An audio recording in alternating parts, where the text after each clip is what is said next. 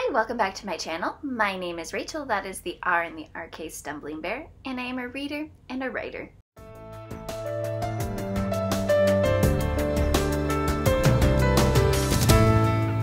This is another weekly wrap up. So this is also a weekly wrap up after a month has finished. So at the end of the video, there will be my October stats. So if you're a stats person like me, you get to see how I'm doing on my goals.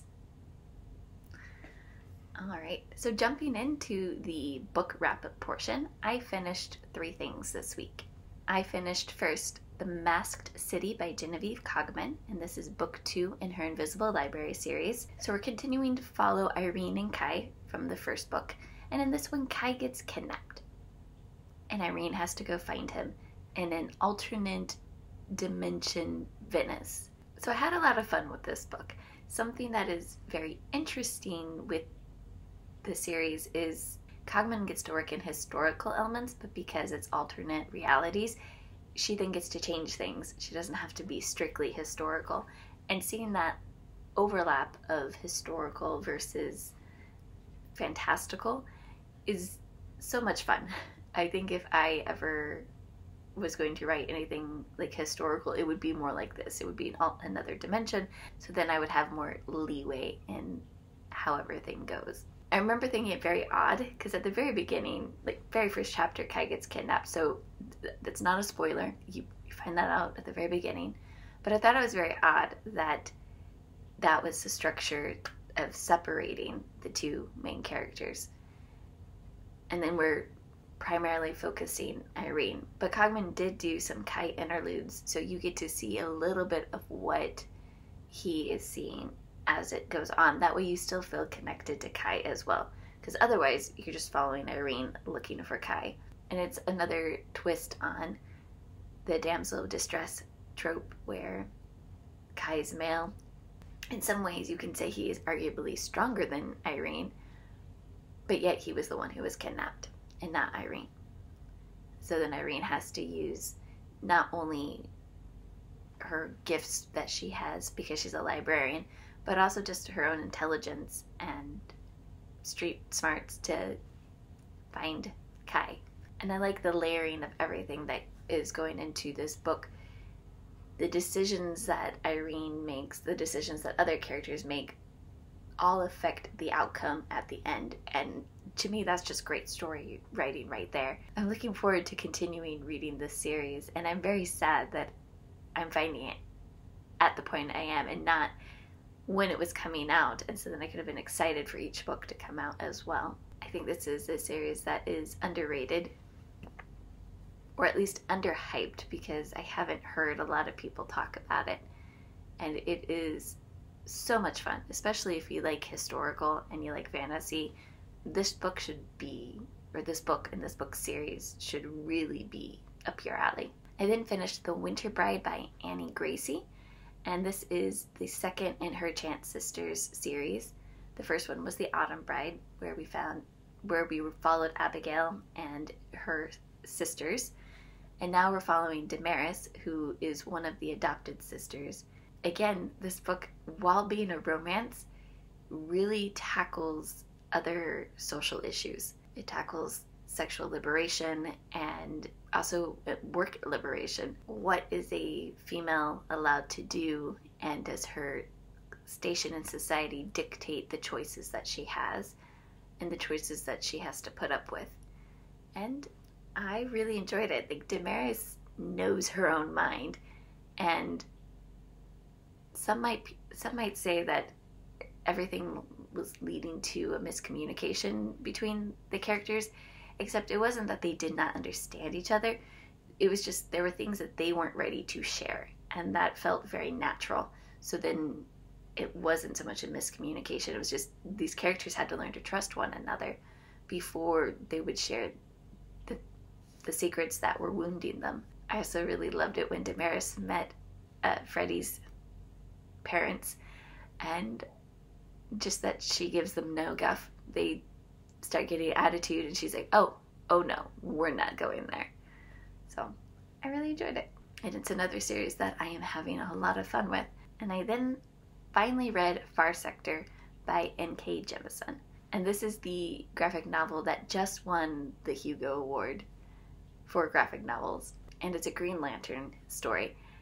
I don't know much about Green Lantern. And the concept of how everything plays out is very interesting. So it's called Far Sector because this Green Lantern, because this Green Lantern Joe is sent to a solar system on the very edge of the universe. We get to meet the inhabitants of the planet that she's working with and get to know them as she's getting to know them. So a lot of our view is because of how she sees them.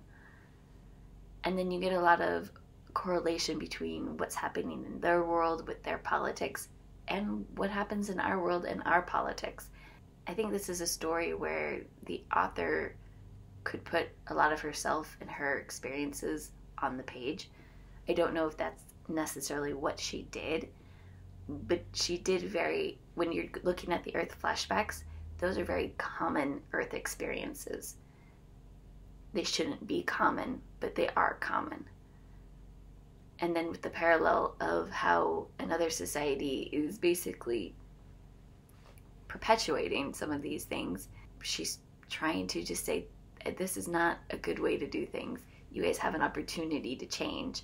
I mean, that's that's the best way I can describe my feelings around this book. Sorry, I don't have anything more eloquent to say, but I completely understand why this won the Hugo. If I had read it, I would have voted for it. In my haste, I forgot to say what I picked up this week to read, and that was Red Shirts by John Scalzi, which is was a buddy read for one of the groups that I was wanting or that I am part of, but I just wasn't able to get to it because of some interlibrary loan issues. And it, it's interesting so far. We are following Dahl, is his last name? Oh, I forget his first name. But he is a an underling or a red shirt on this Star Trek esque ship. And he's found out pretty quickly that you don't want to go on away missions because people die a lot and now he's investigating why that is and what's going on. It has definitely the normal John Scalzi sense of humor.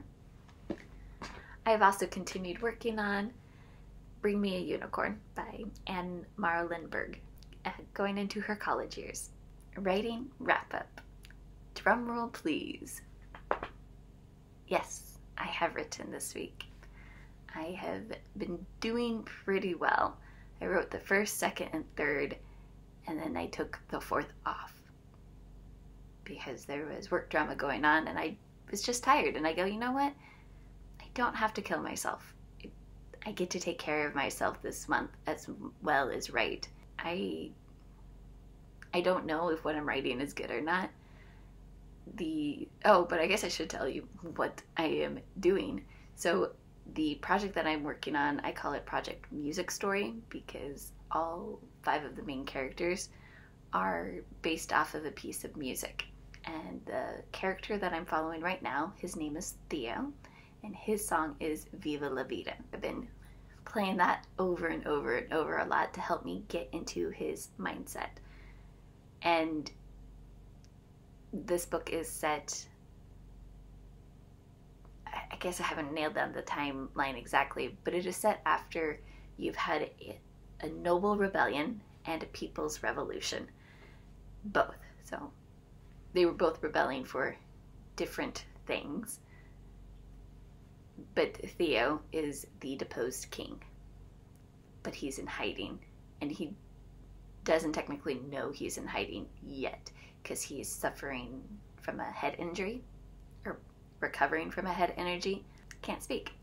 He is recovering from a head injury. So obviously, I will have to do my research on head injuries and how that works. But right now, some of his chapters are in the past, and then some of his ch- chapters are in the present. And that has been a very interesting experience to write. For the past chapters, I am experimenting with second person. It's not a tense that I've written in before. So, again, I don't think what I'm producing necessarily is good writing, but it's getting out there. And that's really what a zero draft is for me, is just getting the words on the page. I'm getting the ideas on the page. Because what I really love is revising when you get to clean up the language and make things make more sense. So I know like right now a lot of it is I just have characters, you know, telling you things. And then when I revise it, I take out, out the dialogue and I change it so you can more see what is happening versus just have an info dump. So there, if you didn't know, I do a lot of info dumpy writing for my zero drafts because I'm getting the information down. And then later I go, hmm, does this information, is it being conveyed in the right way? And I'm having so much fun. These are going to be very difficult characters to write. Like I said, right now I'm, I, there's five main characters, but I'm focusing on Theo's perspective this month. And then if I finish with him, I will start a different perspective. The point is, I am writing and I am having fun with it. And then for other media, this section's probably going to be pretty small for the month of November because the more I write, the less I watch TV. The more I read, the less I watch TV. So I've been writing and then I read a little bit before I go to bed. And I'm reading sci fi because I'm writing fantasy. My husband's watching Andor. He says it's great. Probably will binge watch that for Thanksgiving. So we're going to go ahead and do stats for the month of October. How did I do? My monthly goal is to read eight books a month. I read nine. To break that down, I read six novels, one nonfiction, and two graphic novels. For my goal to read one new release a month, I read two. I read the nonfiction, Slaying the Dragon, and the fiction, Station Eternity, which was my most anticipated book of the year. For my Goodreads currently reading, I started the month at 102 and then I put three books on the list because I had to go back to the library. So I am now sitting at 105. I also rearranged my shelves. I don't know if you could see. So I went through and counted all of my unread books that I'm planning to read. I have some unread books on my shelf that are my husband's, and I actually gave him his own shelf at the top of the bookshelf so that he can find his books a lot easier. Started the month of October at 113 and ended at 129 because I did the recount and added whatever new books I had purchased. My series goal of finishing things that I'm currently reading, I started the month at 93. And out of the 93, 22 of those series are caught up, meaning I've read them to the point where there's no more books actually out. I did not finish any series this month. I started three, so that leaves me at 96 series and 23 caught up. Because one of those three is the first in a series, and it's my new release actually for this month. Glancing at my original goal sheet, my physical TBR and my finished series numbers are going up, not down. I'm not necessarily sad about that, but it is kind of funny. It is definitely, you can definitely tell I am a book person because of how those numbers are going. And that is going to be the end of this video. I hope you guys are having a great week as well. And if you are doing NaNoWriMo, that you are, the words are just coming to you and you're not having to bang your head against the wall to be able to write. I'm having trouble speaking, so I'm going to go ahead and end it here. Thank you and have a great day. Bye.